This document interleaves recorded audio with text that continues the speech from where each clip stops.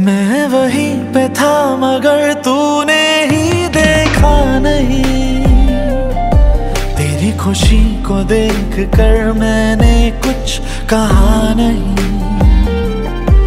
लड़ पड़ा लकीरों से, पर कुछ भी हुआ नहीं। चलो ये मान भी लिया, अब तू मेरा नहीं। क्यों मेरा नहीं?